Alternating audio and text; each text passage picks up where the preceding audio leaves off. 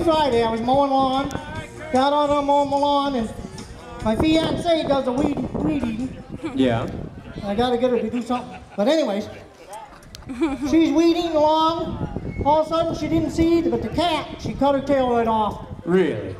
I grabbed that cat up, grabbed that tail up, and went right to Walmart. Really? You know why I went to Walmart? Why? Everybody knows they're the biggest retailer in business.